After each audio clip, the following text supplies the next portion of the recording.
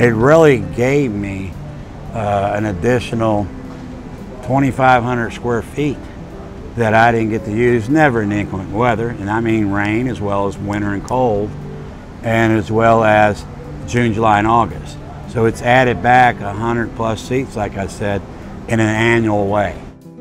Don't look at the cash you're giving up. Look at what you're getting back. And all those moments, as I described, you can't use it. The roof, this roof will pay for itself in one summer, maybe even in two months, and then it's going to pay for itself again in the winter.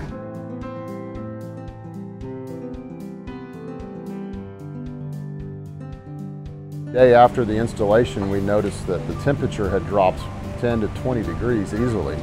The uh, sun wasn't beating down on the, the, upper deck here, wasn't heating the tables, so you didn't get that radiant heat coming from, the, from below and then the, heat from above. So uh, it's made it quite comfortable. As we were opening them up the first day, the owner had asked me what my expectations were, and I said, well, they have been exceeded.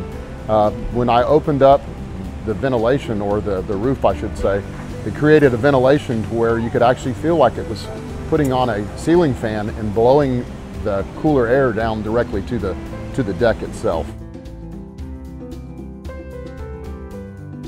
Product's beautiful, it's all aluminum, all powder coated. The installation is not obtrusive to the building, you just sit it on your pilings or your post or whatever. You know, it's an intricate roof, it's well engineered, the wind loads on it meet my standard here of 150 mile per hour wind load open.